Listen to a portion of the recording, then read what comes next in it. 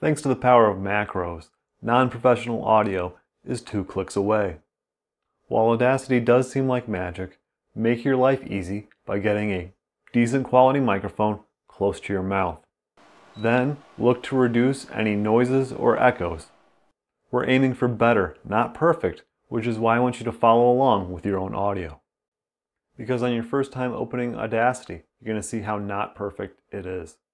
You can fix this by going to Edit, Preferences, Interface, and then Theme. Congratulations! As a prize, I've linked to the official support site and manual in the description.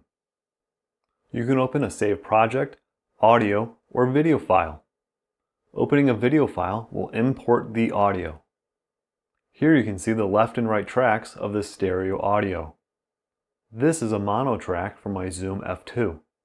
Even edited. No one wants to hear a laptop mic.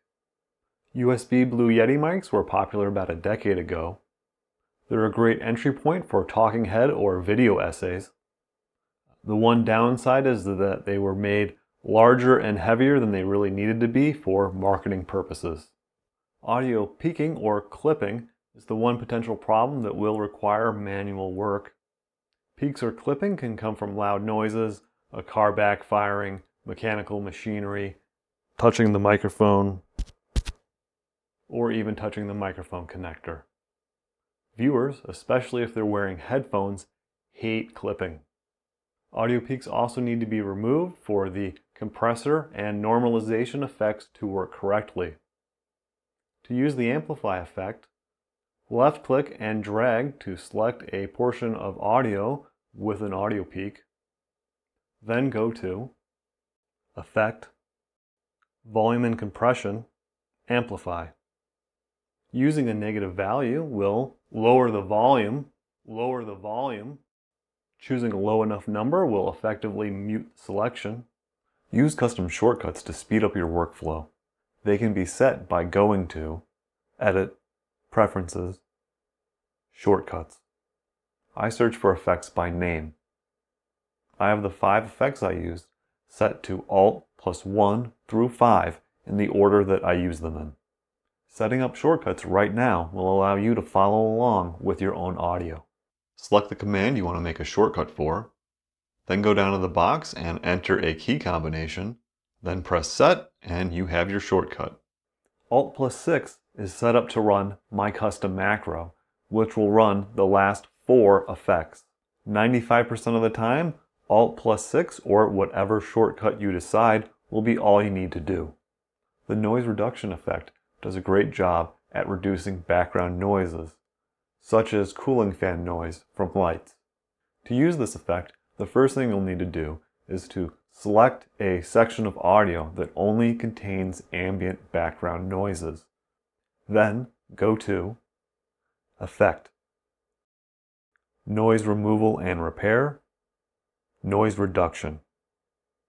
First, press the Get Noise Profile button. Once that's done, select the entire track by either clicking on the title or Control and A. Pressing Control R will repeat the last effect. What you want to do is this will apply the noise reduction profile to the entire audio clip. Or you can also go to the Effects menu and select Repeat Last Effect. And the final way is to reselect the noise reduction effect through the menu. There are two other effects in the noise removal submenu that might be helpful to you. The first is click removal. This can be helpful if you have mouse clicks or maybe other mechanical clicking that you want to remove. Clip fix reduces the volume of sections that are too loud. You'll have to play around with the settings in each of these to figure out what works best for your situation. The noise gate effect can help reduce echoes. I have played with the settings but I'm not sure how successful I've been as I'm not even sure I need to use the effect. Three settings will need to be fine-tuned for every speaker and environment. If you're having problems with echoes, you're going to have to watch other videos that go into more detail on the specific effect. Then you're going to have to learn how to dial in those settings, and I would recommend trying to do some basic acoustic treatment to your recording space. The compressor reduces the dynamic range of audio. It does this by lowering high levels and increasing low levels. Through this compression, audio will have less variations between the highs and the lows, making it easier to listen to. To use the effect, go to Effect, Volume and Compression, Compressor. There are a bunch of different presets to choose from. I always suggest spending some time playing around, listening to a few of them, and choosing one that you like. Normalize will raise or lower the volume of a selection to match your desired level. This allows you to set the volume of your audio to what viewers expect. To use the effect, go to Effect, Volume and Compression, Normalize.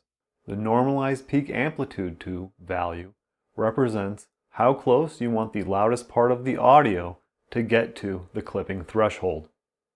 I use a value of negative 2.5 decibels so that it is close to how loud ads are though I'm not sure if I should set my volume to be louder, so using a value of negative 2 decibels or maybe negative 1.5.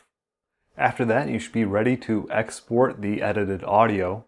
To do that, go to File, Export Audio, or you can press Shift Control E. Make sure to select the stereo option if you have a mono audio source. I would not change the format or any other settings. It's also possible to add this step along with closing Audacity to a macro. Creating a macro is what's going to save you an incredible amount of time. To do this, go to Tools, Macro Manager.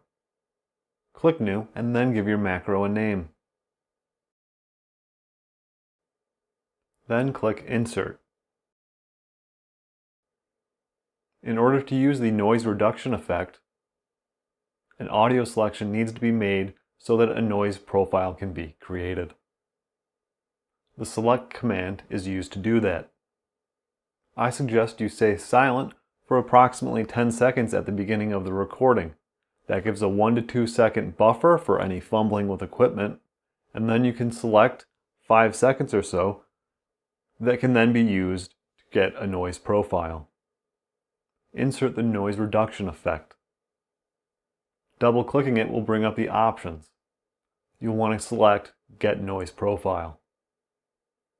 Next, insert the Select All command. Then insert the noise reduction effect again, double click, go in, and this time run the effect on the entire audio track. Then insert Select All again. If you're going to use the noise gate, you can insert that now. It will have the same settings as the last time it was used. This is also the same for the compressor and normalize effects, which you will also want to add. Once you're done with that, you'll have everything done in a macro that was covered in this video, and you can go through and add any of the other commands that you want, including the export, and even quitting the application. All video editors have easy ways to sync audio to a video clip. I use Kdenlive because it's free and my laptop isn't capable of running DaVinci Resolve.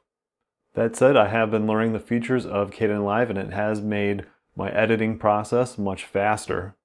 Be on the lookout because I will eventually make a tutorial going over my process and I'm also looking forward to the new version of GIMP which should be out very soon.